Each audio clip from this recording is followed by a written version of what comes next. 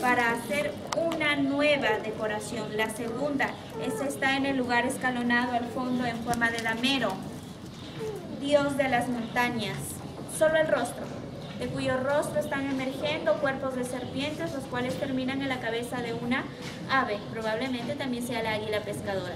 Y esta otra decoración está acá en la parte.